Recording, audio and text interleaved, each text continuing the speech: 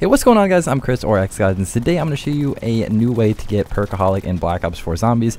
With this new method, you can get up to 10 perks in total. It works on any single map in Black Ops 4 Zombies, as well as solo, co-op, and all of that good stuff. So without further ado, I'm going to show you what you need to do to set up your game.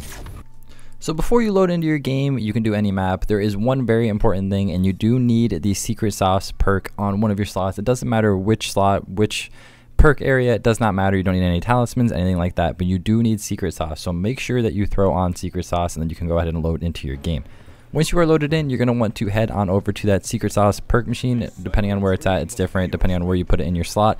But head on up to the perk machine and what you're going to want to do in a very fast motion is hold square to purchase the perk, immediately knife, and it's going to drop the perk bottle and you want to hold square again. And as you guys can see here, it's going to give me the time slip perk bottle but it's clearly not one of the four perks that you guys can see on screen. What's happening here is there is an off-screen indicator for five hidden perks that you can get and you can't like actually see the perk or anything, but you can use the perk and you do have the effect. It's very easy to show you guys this with Mule Kick, which I will be getting in this video so you can see exactly what I mean.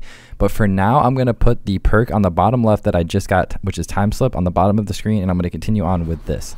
So you can continue to do this up to five times. Here's the second time that I do it, and as you can see, I got Time Slip, and I also got Stronghold as well. So here's the second time, and it gives me the perk bottle for Bandolier Bandit. So my ammo count is going to immediately increase. You can see it jumps up to 80, which is the Bandolier Bandit effect. So you can see like the perks are working. You are getting extra perks. Here I get Electric Cherry, and then I actually end up getting it twice because it is my first perk slot. But here is where you can really tell that this works. So Mule Kick. I just got the Mule Kick perk as my fourth hidden perk. So I can go and purchase guns and you guys can see like I have the the starting revolver and then I just bought the MOG and I'm gonna go down here and buy the three round burst pistol and I can switch between all three weapons. Now those perks in the bottom left right next to my points like time slip bandolier electric cherry mule kick you don't see this in game. That's all photoshopped into this video. But i do have the mule kick perk and you can do this up to five times.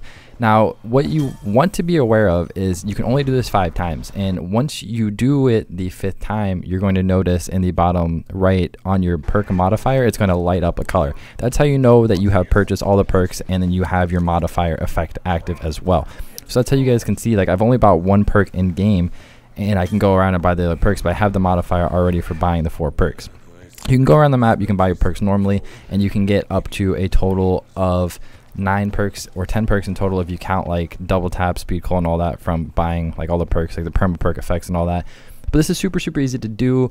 It's very easy. You can do it solo, co op, doesn't matter just be very careful when you do this because if you continue to buy perks, it's going to crash your game. You can only do this up to that five times. You can do it like a couple more if you end up getting duplicate perks because you can get duplicates.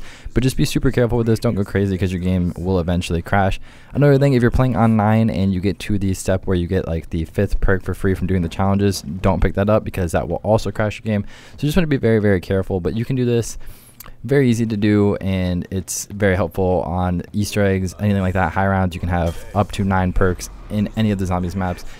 Thank you guys so much for watching this video. Make sure to subscribe to the channel if you are new. There's gonna be a ton of black ops 4 zombies content coming very soon. Thank you guys again so so much for watching this video. Until next time i'll see you guys later with some more black ops 4 zombies. Peace